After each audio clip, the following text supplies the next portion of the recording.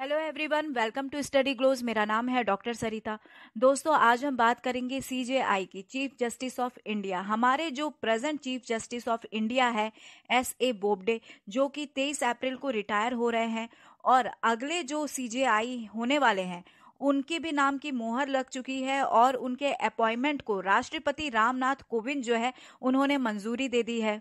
जी हाँ दोस्तों justice N V Ramana ये अगले चीफ जस्टिस ऑफ़ इंडिया होंगे। प्रेजेंट सीजेआई बोबडे ने ही केंद्र सरकार को जस्टिस रमना का नाम जो है दोस्तों वो रेकमेंड किया था और इसके बाद सेंट्रल ने राष्ट्रपति को उनका नाम आगे बढ़ाया और इस तरीके से जस्टिस रमना जो है ये भारत के अड़तालीसवें सीजेआई बनने जा रहे हैं। 26 अप्रैल से एज अ सीजेआई ये अपना कार्यभार जो है संभाल लेंगे और ये आंध्र प्रदेश हाई कोर्ट के ऐसे पहले जज होंगे जो कि सीजेआई बनेंगे।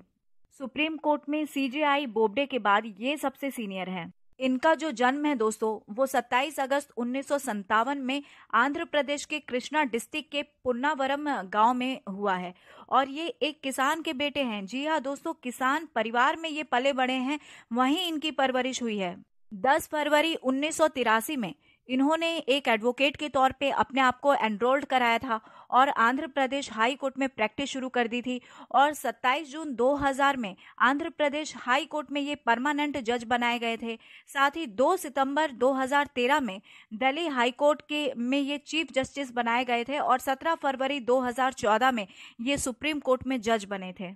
हालाँकि कुछ समय पहले आंध्र प्रदेश के जो सीएम जगन मोहन रेड्डी है उन्होंने सीजीआई बोबडे से जस्टिस एनवी रमना जो है इनकी शिकायत की थी। क्योंकि रेड्डी का ऐसा कहना था कि जो जस्टिस रमना है ये फॉर्मर सीएम चंद्रबाबू के साथ मिलकर उनकी सरकार जो है वो गिराने का कोशिश कर रहे हैं। हालाँकि सुप्रीम कोर्ट ने पूरी इन्वेस्टिगेशन की जाँच की और जाँच के बाद ये जो शिकायत है इसको आ, खारिज कर दिया गया। साथ ही ये जो आरोप है ये झूठे आरोप बताए गए। इसमें दो शिकायतें थी, दोस्तों। एक तो रमना की दो बेटियों की ओर से अमरावती में ज़मीन खरीदने का एक मामला था। साथ ही दूसरा जो है, रमना की ओर से जगन सरकार जो है, उसके खिलाफ जानबूझकर दिए जाने वाले आदेश थे। ऐसा जगन रेड्डी की सरकार जो है, उनका मानना था। खैर, आरोप तो खारिज हो चुके हैं। अगर हम तेलुगु भाषा के आधार पर बात करें तो ये दूसरे सीजीआई होंगे, क्योंकि इनसे पहले 30 जून 1966 को सुबा राव जो है, वो सुप्रीम कोर्ट में सीजीआई जो है, रह चुके हैं।